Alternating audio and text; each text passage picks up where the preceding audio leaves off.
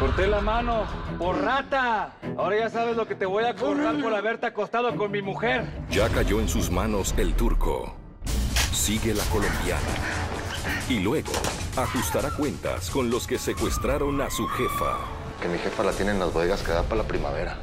Tenemos que rescatarla. Vámonos, estamos perdiendo tiempo.